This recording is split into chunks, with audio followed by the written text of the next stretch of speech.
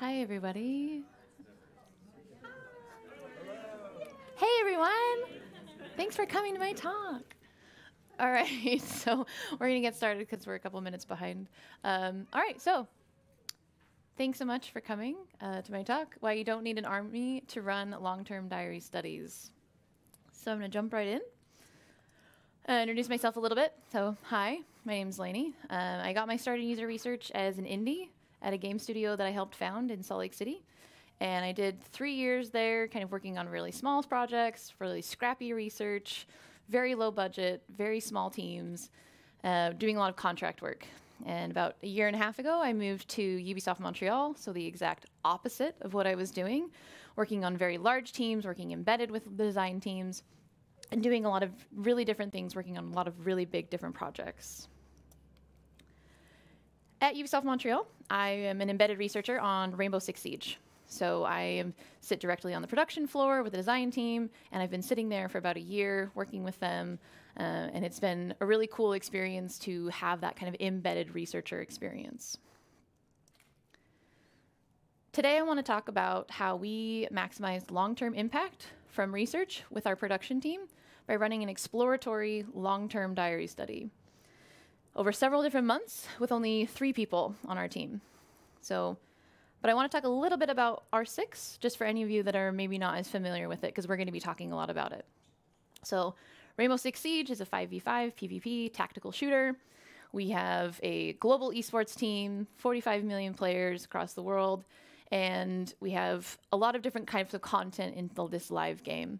So we have three different game modes, two different playlists, 46 playable operators, 20 different maps, and new content being released every three months. This makes for a lot of challenges and a lot of things to learn when you're starting to get into the game. And all these kind of things coming into the game every few months creates a really interesting shifting meta within the game. And that creates something that's quite challenging, even for players of very high skill level, to really master and to learn. So we knew this, but really, why are we deciding to do a diary study now? The game's been out for a few years, um, so why now? Well, it's been a few years after release, and we're still regularly seeing a lot of these comments online. So we're seeing a lot of reviews, we're seeing a lot of comments on just Reddit and things like that, saying that our game is challenging, it's difficult, and that's not actually our problem that we're upset about we want the game to be difficult, but we, we want to ensure that we know where it's difficult and why it's difficult. And we want to be able to control that as much as possible. What we didn't know is how all these different layers over several different years, all of these pieces were building together and what that was starting to mean for the game. We had a lot of assumptions about where these barriers were happening, but we wanted to start getting some really some, some evidence to support how we could start moving forward with new content releasing every three months, the, the development train was moving rapidly in front of us. And we knew that it was time to really get be able to jump ahead and start getting in front of the train and being able to be more proactive in the type of research that we were able to run. So our solution to begin to tackle this was what we called the learning study. So this is a long-term diary study of new players of Rainbow Six Siege. So our goal was to increase our knowledge on how players are learning the game right now. So the game in its current state, several years after release, what's happening in the moment right now with our players? How are they learning? And how can we increase our own knowledge to be able to better understand that experience for our players? With this goal in mind, we created a roadmap and we started to think about what it actually would mean to run a long-term diary study. The initial concern was that we didn't actually have a lot of people resources. We knew that measuring something like learning was going to take an extremely long period of time, but we didn't actually have a lot of people that we could have on this full time for however many weeks we decided we wanted to do this. So we needed to start thinking how we could efficiently break this up into kind of more manageable segments. And we created two phases, phase one, phase two. Uh, and phase two would be the, the diary study, the kind of extended portion of the study. Phase one was just going to be myself. Um, I was going to be running players on my own. And my goal here was really looking at can we understand the behaviors and skills and performance of our current players? So I really wanted to get an idea of what does it mean for the people that have been playing this game for hundreds of hours? What do they look like? How do they behave? What are they doing? I really wanted to create a baseline for what learning looked like. So I decided to do that in phase one. Phase two, I'd be joined by two additional researchers, and the three of us would spend this kind of extended period of time understanding the learning curve of new players. So we're going to work our way back, and we're going to start with new, fresh players and start to see if we could start mapping out how players were actually learning the game and how these pieces were starting to join together.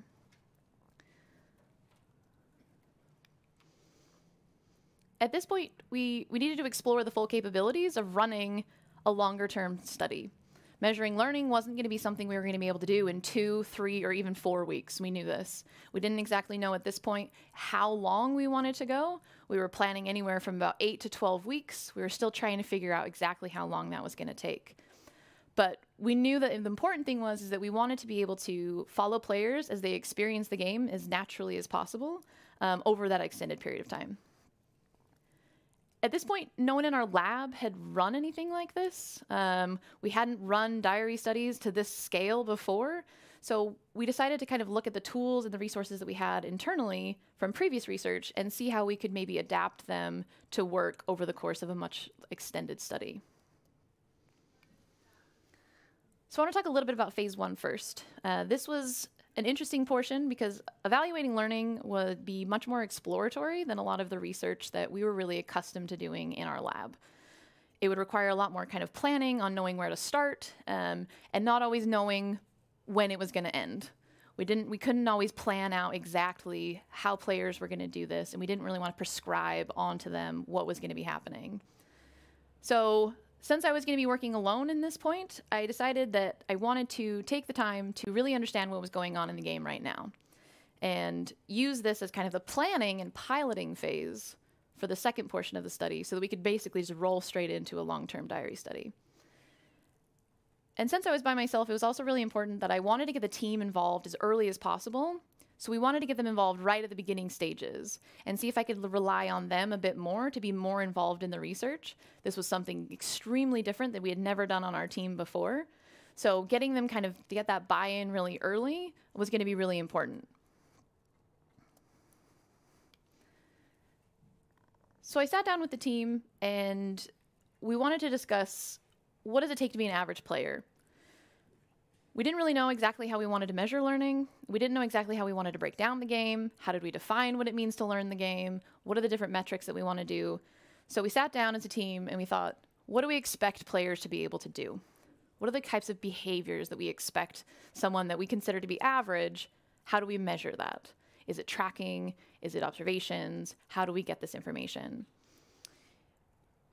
Based on our tracking data, which we have loads of, we were we had a pretty good idea of what the the statistics of an average player looked like but of course that was only one small piece of what we were looking at. We didn't have a lot of context about how players were making decisions about what they were doing how these pieces are kind of all fit together over time. Were they getting information from other people? Was that helping them influence their learning experience? And what did all of this look like? So we really had to figure out how we could get what we needed kind of around the tracking data without getting completely lost in the weeds at this point because I have so much content in the game. If I decided to break down every single one of those things, I'd be doing this for years. And I just didn't have time to do that. So the question we really wanted to answer was what do we expect them to do? And so we started by writing out performance statements. And this is how we would begin to think about how we were going to define our KPIs. So we sat down with the team and we came up with a very long list of expected performance statements. Um, and some of them looked something like this. Uh, droning is a very important aspect of the game in Siege, not only as an indiv individual player, but also as playing with your team. Gaining intel and being able to have that upper hand on the other team is, is critical. So this was one of the key facets that we ended up looking at was this intel, and within that was droning. So the design team says we want, we expect average players to be decent at droning.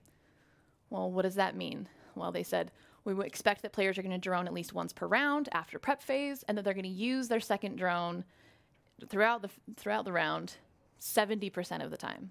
This was the number that they gave me. So I said, okay, uh, so we've got this. Uh, now, how do I actually roll this into something that I can use and be able to develop my KPIs? we started asking a lot more questions and thinking about uh, how can we drill this down? What types of things can we look at from tracking? What types of things can we get from observations? Are there things that we are able to ask the players directly?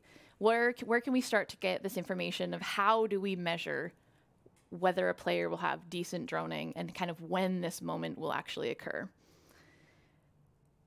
This was a really important step for us because we didn't want to break down every single thing into every little micro chunk. So this really helped us to start building constraints about what it meant to be able to do different things in the game. So within the droning, we were able to say we felt a bit more comfortable about, okay, we, we know we want to be paying attention to what players are doing when they're droning. Where are they going with the drone? What are they doing? Are they making callouts? Are they talking with their team? Are they trying to preserve the drone? And so this got a really good conversation going about, okay, what are kind of the, the constraints of what we want to measure here? Because we knew that we didn't want to try and just do every single possible data point that we could from tracking.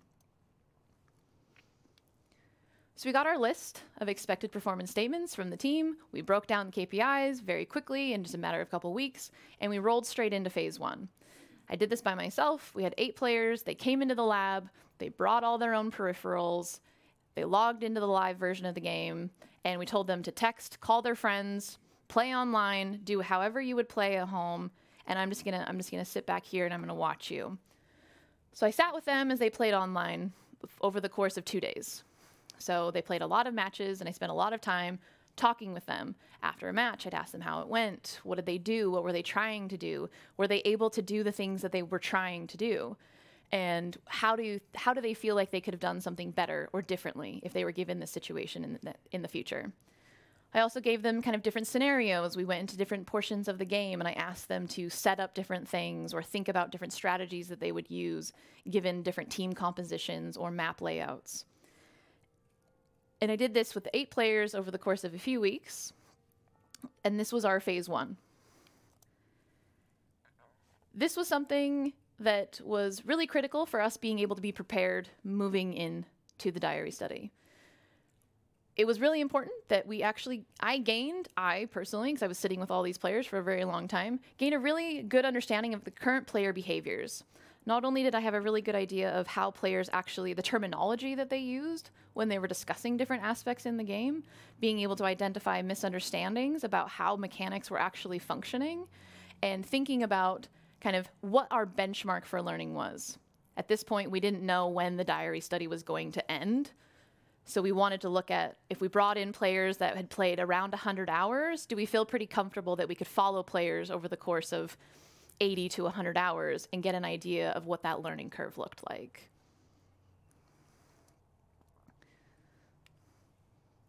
So we wrapped phase one and we started to move into phase two. It was at this point that we decided that we were going to run the diary study for 10 weeks.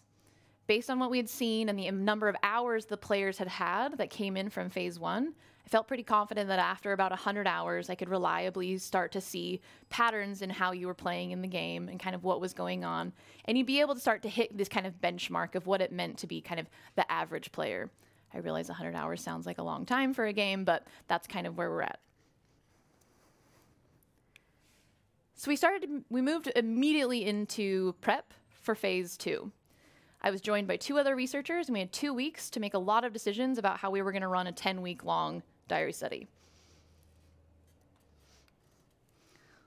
One of the first conversations that we started to have was really thinking about how where are we going to have these players?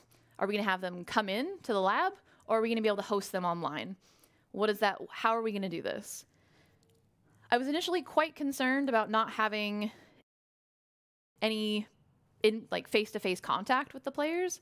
So especially with the fact that we were going to be following them over the course of 10 weeks, we had to take a lot of different factors into consideration. One of the first things we started to think about was actually what does it mean to run a 10 week long study with 20 plus, 20 plus players coming into the lab? We're very fortunate at Ubisoft Montreal that we have quite a large lab facility, but that doesn't mean that we could actually house 20 players and be able to reliably do anything with them with just the three of us so it didn't seem quite compatible for them to be able to come in. We also wanted to ensure that they were being able to, you know, play at home and play over the course of 10 weeks? What did it mean that we were going to be bringing them in? How would we be actually be able to do anything with them because we were only three people? Would we be able to actually observe them doing anything? Could we run through interviews? Um, and we just knew that we didn't have, we weren't going to be able to call on from other from other resources within the lab to be able to come help us. We also had a very specific player profile that we wanted to look at for the study. So we knew we needed PC players. We knew that we wanted them to have been purchased the game within the last month. And that was kind of the, the initial base that we wanted to look at. When we sat down with the team and we looked at the tracking, we realized that we only had 4,000 of these players across all of Canada, uh, which may seem like kind of a high number, but we started to think about okay, uh, well, we have 4,000 people all across Canada, but we're only in Montreal what does it mean to actually narrow everything down and bring them in? Would we be able to find the players that we needed? And what, what do we feel comfortable sacrificing? Do we want to stick to the player profile or do we want to try and find players that are closest to the lab?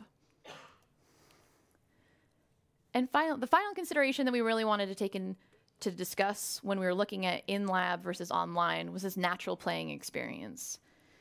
It was really important to me that we not dictate to the players kind of how they were choosing their learning journey in the game. Uh, we wanted them to be able to choose what content they wanted to play, when they wanted to play it, and, and who they wanted to play it with.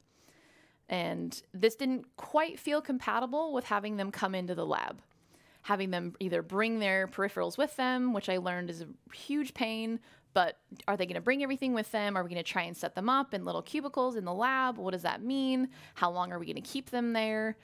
would they normally choose to play for that m- amount of time if they were just playing at home? Would we be able to facilitate all these things?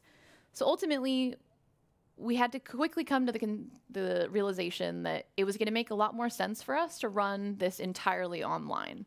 We wanted to be able to get the players in the profile that we wanted, and we wanted to be able to facilitate them in the most natural way possible over the course of 10 weeks. It also would allow a lot of flexibility for them as the players to be able to play when they wanted and have it be much more kind of how they would choose to play the game more naturally.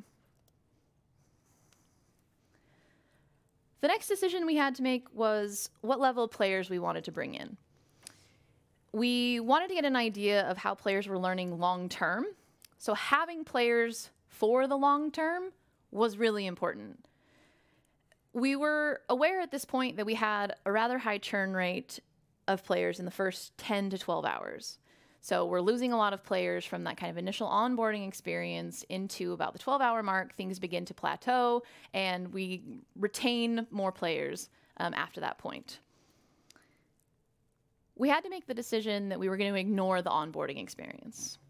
Uh, for us, the initial onboarding experience is about the first five to 10 hours. You've played through some of the tutorials, you've done some of the early game content, and you've maybe played a few casual matches. It was important for us that we had players for the long term. Recruiting a lot of players is going to take a lot of resources and a lot of time from our team to be able to get those players in. It's going to cost us money and compensation to get players if they just drop off in a couple weeks when they realize they don't actually like the game, or worse, they try and stick it through because they want to keep getting paid.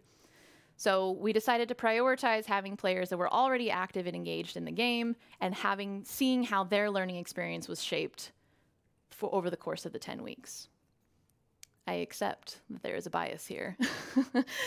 we knew that this was going we knew that we were giving we had created a bias by looking at these players that had been after the point of the churn, and we were okay with that.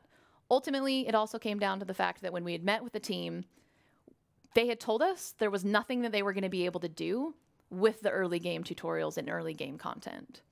So we knew that we were going to be able to gather a whole lot of information about what was going on potentially maybe explaining what was going on here. But we knew that where the development team was at the time, they wouldn't have been able to act on it. So we decided that if they weren't going to be able to do anything with it, we would just shelve it and come back to it later.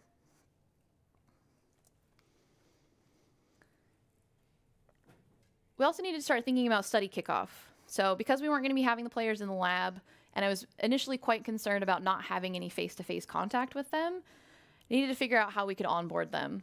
So we did two different things. Uh, we actually we went through the full recruitment and recruited players that fit the profile, regardless of where, the, where they were in Canada. Once we had them recruited, we looked at where they were. We're fortunate that we have offices in Montreal, Toronto, and Quebec. So we decided to look at whether we had players within a 30 minute drive of those different offices. And if they were, then we would facilitate having them come into the office and we would do an on site kickoff with them. Created a whole presentation talking about how the study was going to go and laid out everything. For all of our players that were not close enough to one of our studios, we hosted very small groups online, about three to four players, where I had a webcam and I went through this whole kind of onboarding presentation with them, and I was going to be able to kind of start giving them a face to the name of the person they were going to be talking to over the course of this 10 weeks. We then came to thinking about participation requirements. So we're getting these players, we want them to come play for a long time, but of course we want to have the, we want them to have a natural experience, but of course I can't spend 10 weeks not being able to kind of make some progress and gathering data and doing some analysis during that period of time. So while my goal here was really to let players go about kind of their own discovery process of learning, we did need to set some parameters to ensure that we could continue the study moving forward at a, at a steady pace we decided that we were going to have the players have a weekly play requirement. So we were going to have them play seven hours per week, but they could play any content that they wanted whenever they wanted to. But we needed them to play at least seven hours.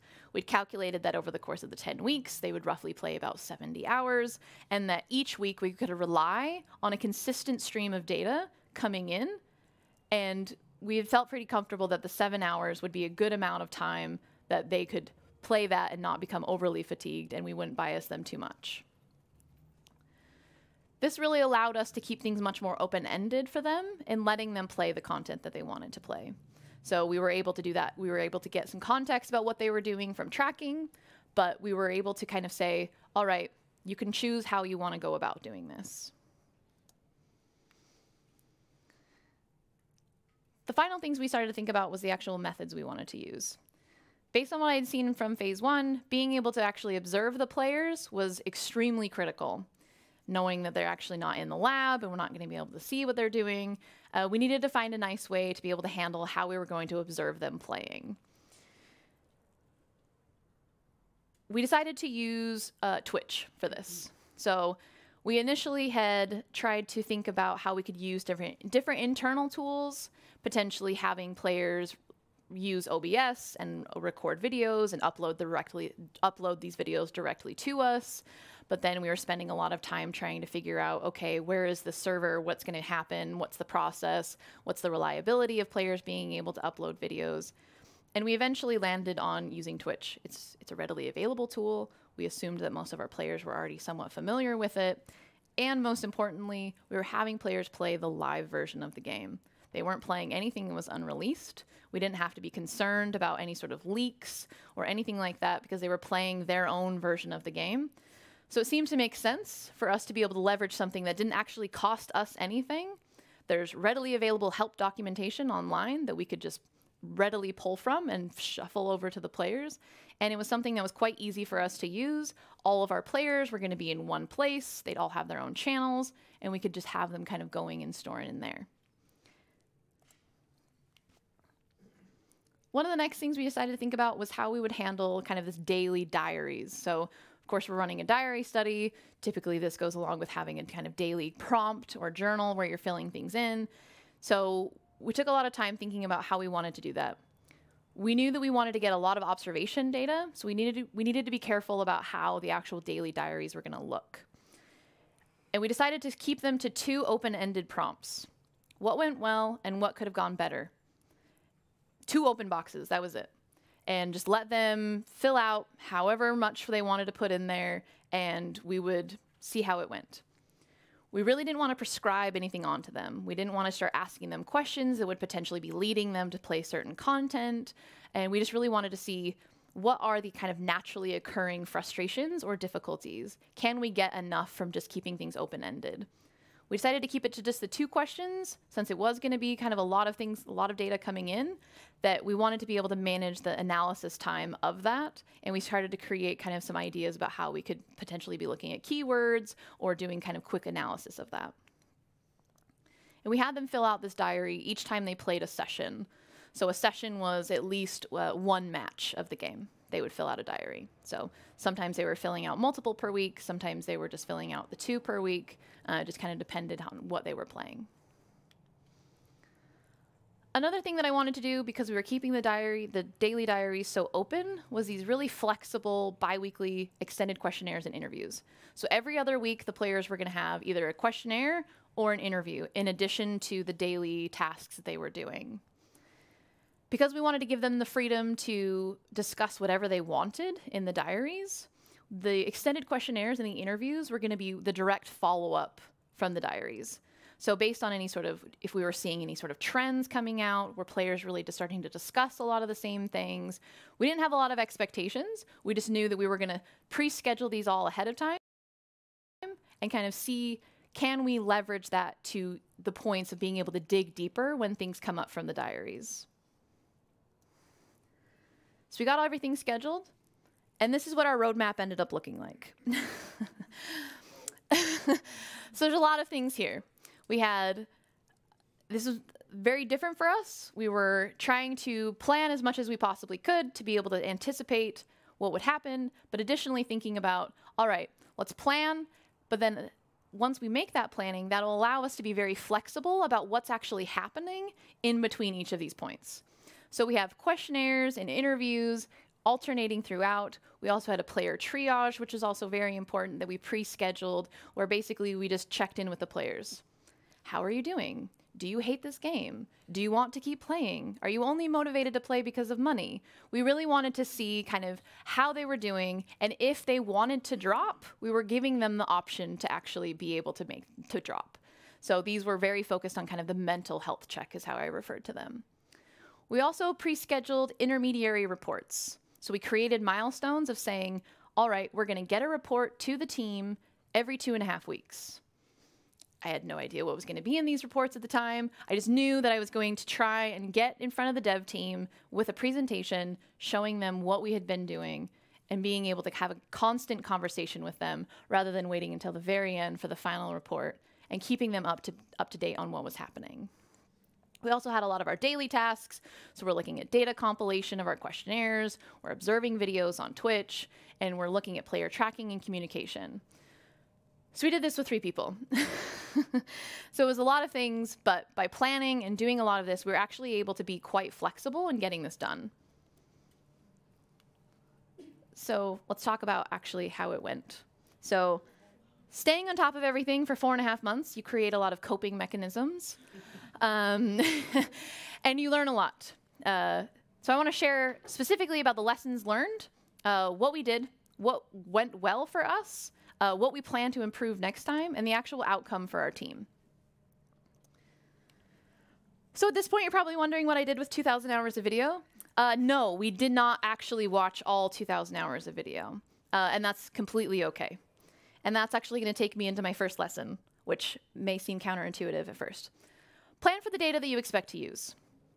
Observations were really important for us. This was data that we had never been able to look at before, and we really wanted to be able to have that kind of long term experience following the players. What was also very important for me was that I was able to be able to randomly select which match I wanted to watch of the players playing. I didn't want the players selecting which which content they were going to be uploading. I didn't want them to try and pick which video was best or try and having them make decisions about which videos we wanted to see. So we just told them that they should upload everything and that we would basically make the decisions about how what we would watch.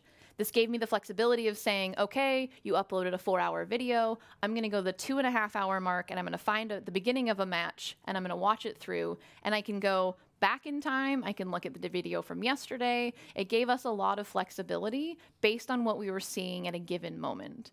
So we ended up gathering a lot of videos because players weren't just playing the minimum requirements. We had players uploading 12 hour straight game sessions in one video. So we had a lot that we were looking at. So because we were bringing in so much videos of observations, we had to be very mindful about all the other data that we were bringing in. It was a lot of work being able to look through all these observations, so we had to manage the different streams of data. We fell into this trap very early on that we could just ask a million questions in our questionnaires and it would just be so great because we could capture everything. But then we just ended up getting a lot of data that we never looked at that just stressed me out because it was just sitting around and we had no we had no direction for what we were doing. We were just saying, "Oh, because we can send out a survey, we should." And this became problematic because we were actually just gathering a lot of things that we couldn't do anything with or that we felt tempted to try and do something with. So we started to kind of quickly squash this mentality of we'll come back and look at it later. We try to be extremely mindful about what we're looking at right now and how can we leverage what we're seeing with the players happening and be more reactive in asking the questions to get that information right now.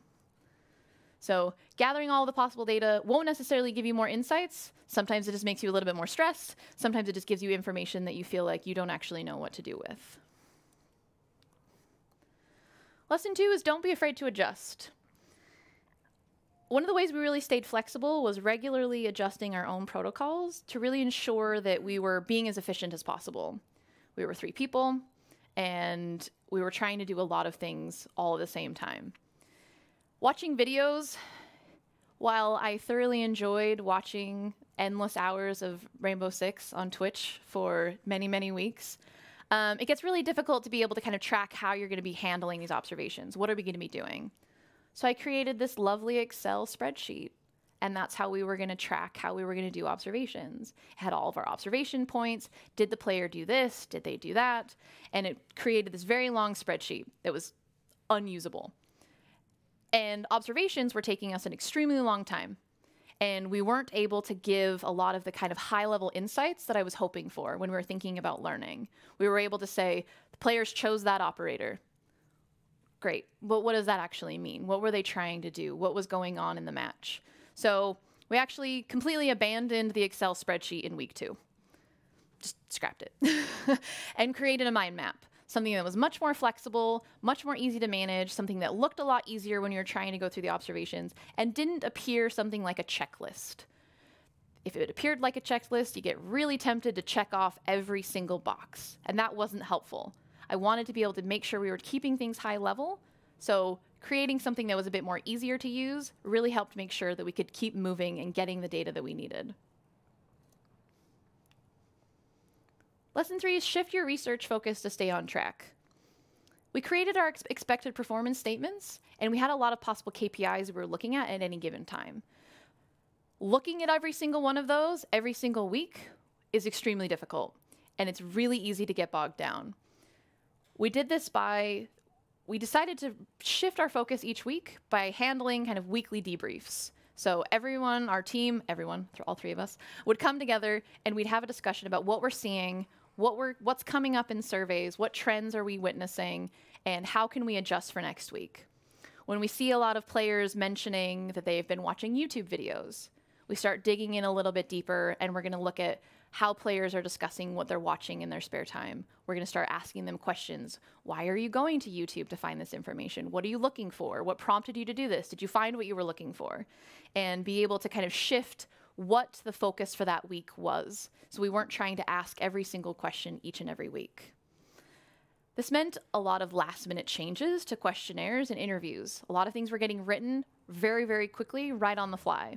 But we were trying to keep them quite small and manageable. So it wasn't like we were trying to write 30 questions for a questionnaire or for an interview the night before the interview. We were able to kind of make small adjustments to be able to pinpoint in and go deeper and really focus on what was happening with the players right now. Lesson four was maximizing people hours to optimize work. This goes along with kind of shifting your research focus, but staying on top of responsibilities to manage all of this over this long period of time can be quite difficult. So we created task owners to really try to reduce unnecessary overlap.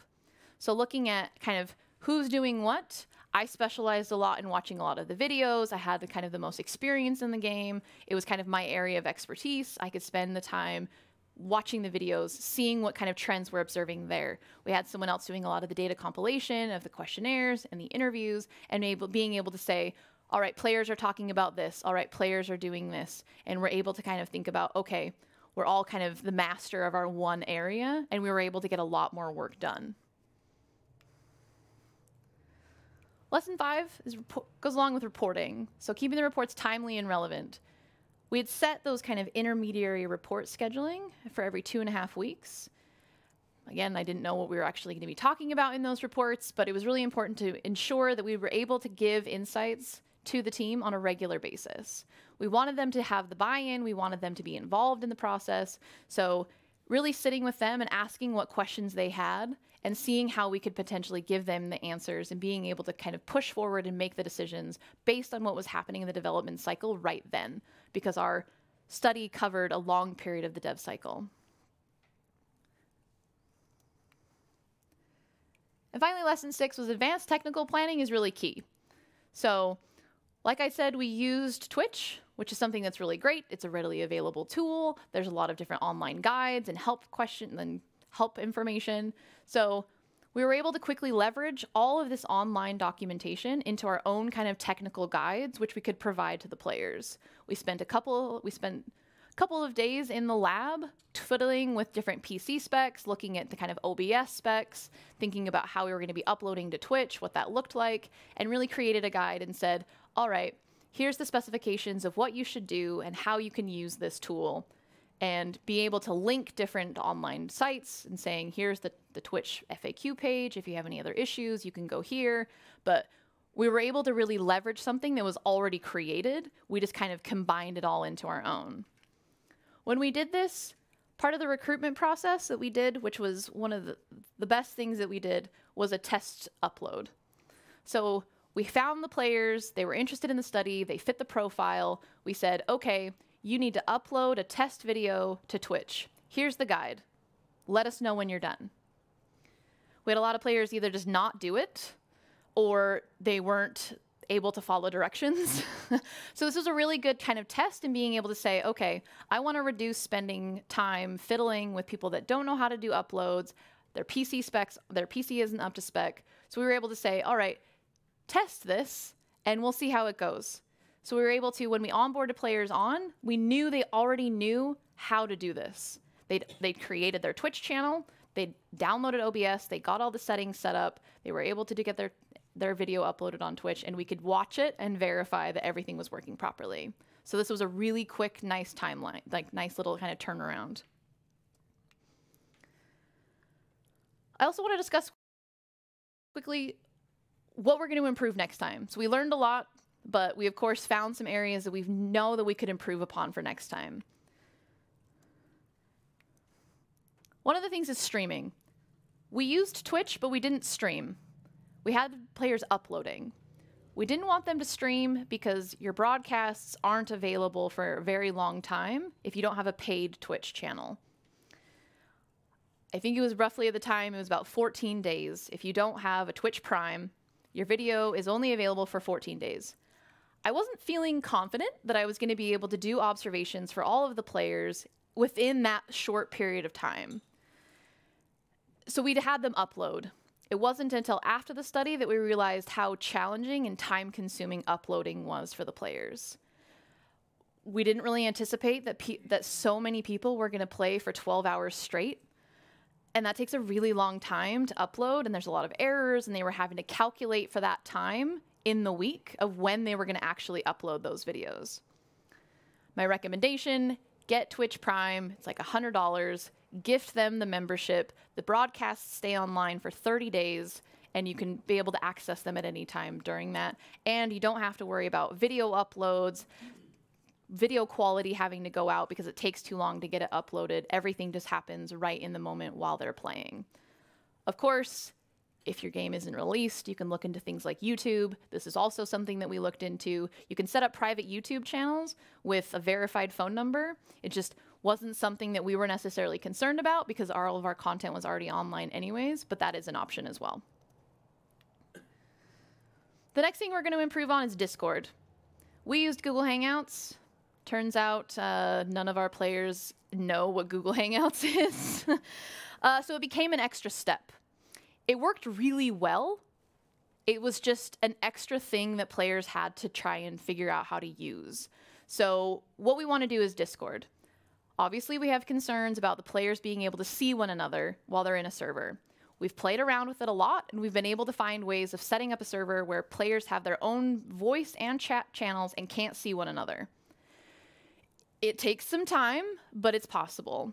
So this is definitely something that we want to look into in the future because all of the players are using Discord anyways. So if we had kind of random one-off comments of being able to get a hold of them, we could have just been able to pop into Discord and send them a message and they would have gotten that notification a lot sooner than something that got completely lost in Hangouts. The final piece that we want to improve upon is our the actual kind of online recruitment process. Turns out when you get a random email from Ubisoft saying we want to pay you money to play our game over the course of 10 weeks, give us your social insurance number. Uh, it it lacks legitimacy, and we had a really hard time with players believing like this was too good to be true, which I don't blame them at all. uh, we just we we kind of ran out of time of being able to set something up to be able to say like, hey, here we are, here's our research team, here's what we're doing. Um, we did actually work with our ComDev team to get kind of a blog post where we could direct players to our blog, but even still, that was still kind of players weren't entirely sure whether that was real or not. So what we want to do is actually create a video with our ComDev team. They're really well known in the community. They're able to kind of, you know, they're figureheads within kind of people that know the scene. So we wanted to create a video with them, introduce ourselves, have them be able to see us, see our research team, discuss a little bit more about what they're going to be doing, and provide some sort of legitimacy about who we are. If anyone has any other ideas of how you can do this when you're recruiting everything online, I'm more than open to suggestions because this was a problem for us that actually our players did tell us after the fact uh, that things seemed a little sketchy initially. Lastly, I want to touch on what was the impact for the team. So this was something that was a considerable amount of time, which took place over 10 weeks, well, four and a half months if you include the entire project, and what we were actually able to do within the team. Firstly, we really started to help kind of solidify this foundation in building in, in building initiatives to decrease barriers to learning. There was a really great kind of understanding within the team that we collectively were all in this together, and this was something that we really wanted to address. One of the things that we were able to be very actively involved in is actually a new game mode that's now currently in the game as of about two weeks ago. It's the newcomer playlist. yes. Yes. so the newcomer playlist was something that had been in the plans with the production for a long time, but the value wasn't quite there for them. They weren't entirely sure how a game mode entirely for newcomers could be valuable or what that would actually look like. Initially, it was set up that it would be a playlist, meaning it was a complete different kind of isolated matchmaking for players that were under a certain level, and they would be ice. They would be shown only one game mode and three different maps. Initially, the maps that were selected were the easiest maps. So they were maps that were you know pretty long and narrow, something that weren't overly complicated. Visuals were quite easy to understand, and no, newcomers overall really felt like these maps were quite easy to look at and able to kind of master. Our issue here was that these maps were actually teaching bad habits, and we had seen that from the learning study. So we were able to say, actually, let's reconsider how we want to think about what this learning experience is. So one of our key kind of relationships with the team was really being able to say, let's think about the maps that we're going to choose and what that means. We really want to teach the essence of Siege. We want players to understand and learn from the earliest stages what the most important things are. So we were able to make some changes about how information is displayed to the players and what type of maps they're actually playing, and ensuring that what they see in those early days is information that translates over the lifetime of the game.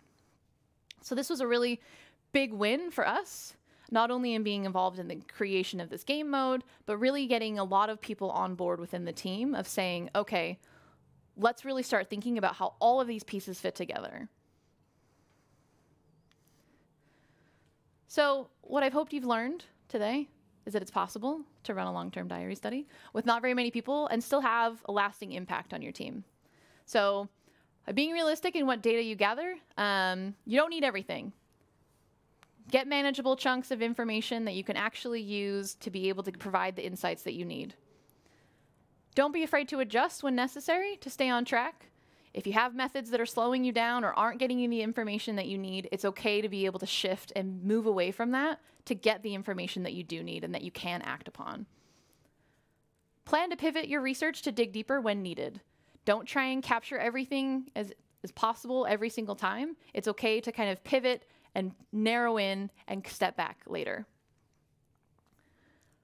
If you have a small team, dividing out tasks whenever possible really helps to optimize the work reduce the overlap, have people really mastering in what they're doing, and being as efficient as possible in that way. When you pre-plan reporting, you can deliver relevant and timely insights and be able to ensure that you're able to keep up with the team and the questions that they have because you're a bit more manageable about when you're expected to get those things done. And finally, advanced technical planning is key to using tools to your advantage. Think about what tools your players are already familiar with. Think about tools that are already free and accessible for them and how you can leverage information that's already available online to be able to push that to them for them to be able to be part of the study. That is all I have. Thank you.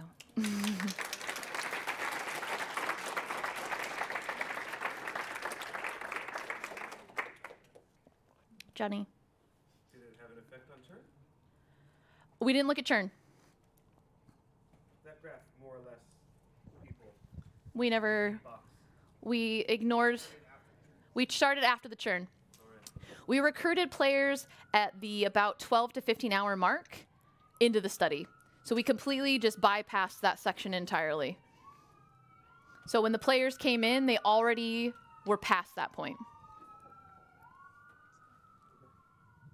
Do you have? Even after that, did, I mean, did you see that the new like assuming the idea of Learning Study 2.0 coming this summer.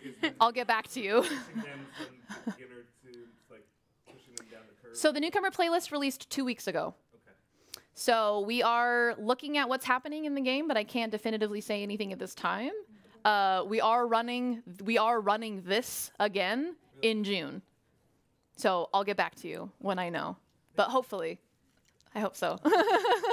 yeah. Um, this is a really cool study. Uh, really awesome. Thank it seems you. like work that would be really cool to do and really awesome learnings. Uh, the thing that I'm interested in is like how you get the business or the dev team signed on to something that's so exploratory and that isn't necessarily like, oh, we're exactly trying to reduce churn or we're trying to solve this specific problem. Because it seems like it would be a dream to do this type of work, but hard yeah. sometimes to get teams on board. So, kind of two things. One, we're very fortunate that our team is quite uh, accepting of research. Um, where we were when we started the study, we were a very data heavy team, very data heavy. Qualitative research wasn't exactly our area of interest. Uh, so, this was like entirely different from something that we had done. Keeping them very involved really helped sitting them down at the very beginning and say, what do you expect players to be able to do? What questions do you have? It was kind of this interesting thing that we'd never been able to do before, and that really piqued their interest in being able to say, yeah, I kind of wonder what that looks like. We had a lot of expectations. Of course, most of our devs on our team had been playing for hundreds of hours. So they're like, oh, players are going to be able to do this and be able to do that. And it was not entirely accurate. So being able to keep them involved and doing this kind of regular reporting and discussing with them really helped. I mean, from the first report to the last report, it was like a couple people in a room to standing room only. Like we got a lot of interest kind of over time. You mentioned um, mind maps as, yes. a, as a method. Do yeah. you mind going over that a little bit more in detail? Yeah. So our observation, we used uh, we used mind maps to do our observations. So how we had divided it out was kind of the structure of the game flow. So you're either playing an attack or defense, um, and kind of looking at these kind of different facets. So the expected kind of performance statements. We back we kind of grouped all of those into different facets and started thinking about okay, how do we divide this thing out? The natural progression of the game is you get in. If you're playing as an attacker, you immediately get pushed to a drone. So what are they doing when they're droning? Did they use, you know, what were they doing during prep phase? Did they preserve the drone?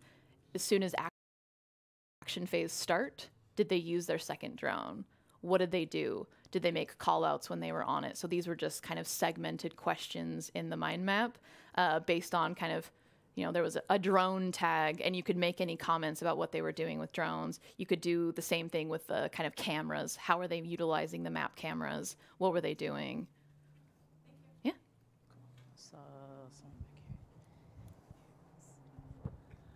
So I really liked how you used tools that were within like the realm of the gaming, like with Twitch and Discord eventually. Yes. Did you uh, ever think about any other like specific diary study tools that are like out there in terms of like DScout, um, I don't know, Qualboard, like those like tools that are more specific for diary studies and yeah. So I really wanted to use something that was going to be kind of the least friction as possible. Yeah. Um, like Google Hangouts was like a fail. Uh, but this was why Twitch was actually so appealing. I was quite against it at first. Julian can uh, attest to that. I was not sure how it was going to work, uh, but really using something that was most people are kind of aware of was really nice. So I had some concerns about trying to say, I need you to play the game, but I also need you to download this app, and I also need you to like use this kind of tool that's so specialized to something that they don't typically use. So we really wanted to try and stay in that realm. Uh, Berg. Excellent case study. This was super cool. I have a million questions, but my one for now. I would love to talk to you after. Oh, bad, bad decision.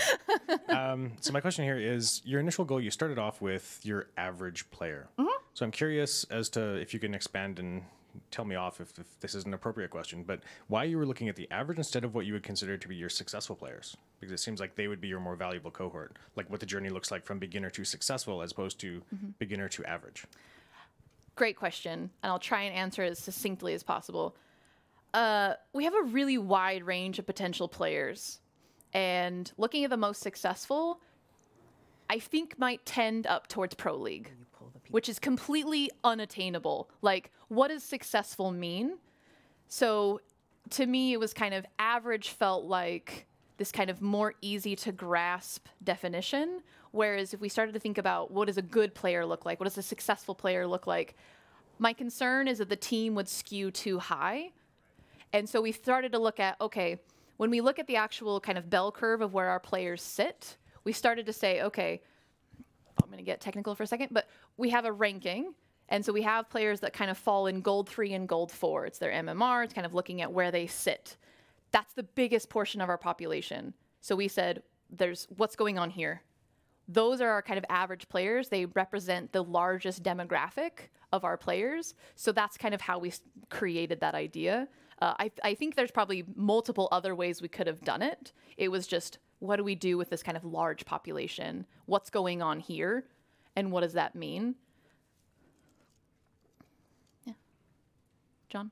Uh, you mentioned that you gave, you know, you had kind of you mentioned you had some kind of defined exit points during the course of the study. Yeah. Uh, what was your completion rate for participants? We recruited 24, we ended with 20. Okay. So, yeah, it was more than I needed. Um, so we uh, we we anticipated that we would actually have a lot more players drop. It was 10 weeks over the summer.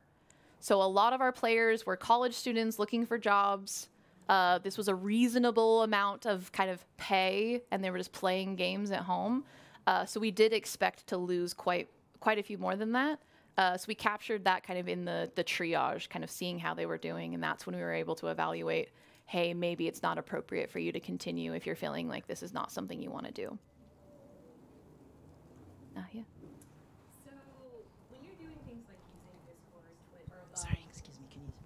I will. Thank you. um, so when you're using Google Hangouts and you're using Twitch to basically have the videos uploaded, did InfoSec care about any of that kind of stuff from like a sensitive data standpoint, or like were you free to kind of do what you needed to do?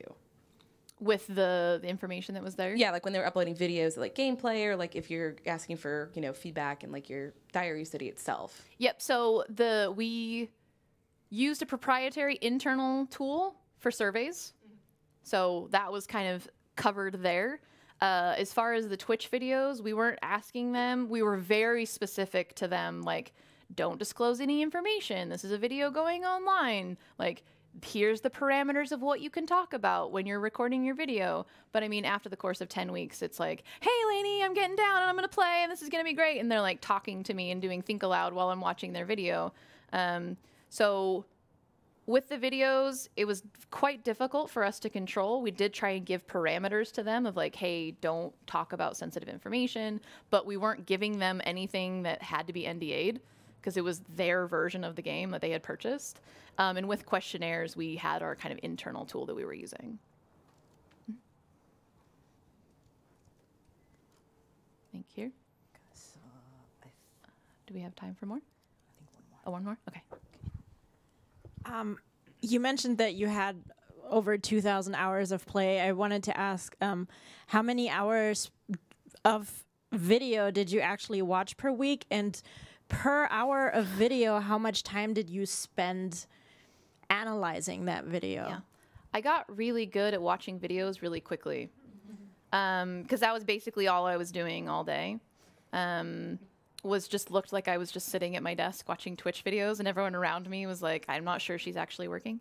Um, so we got much more efficient at it because we started having a real mastery of the game the more time we spent observing the videos. So our overall analysis time was quite quick. We tried to watch kind of we scaled about how many matches we were going to watch each week, but it usually averaged to about kind of 2 hours of video. And I tried to make sure that we were doing a lot of the kind of analysis of what we were doing kind of live with that. So you may want to add a little bit of time on top of that, but I really stressed that we wanted to take observations as we were going and be able to see pinpoint times okay maybe we need to come back to this later. Uh, but it was not extremely heavy. We were the videos we were watching and doing the analysis was maybe taking us another extra hour on top of that per player. Thank you thanks are we out of time oh okay oh we have one more oh sorry Okay. Well, if there aren't any questions, or I can touch base with people after. Oh, did you have a question? Yeah. Right here.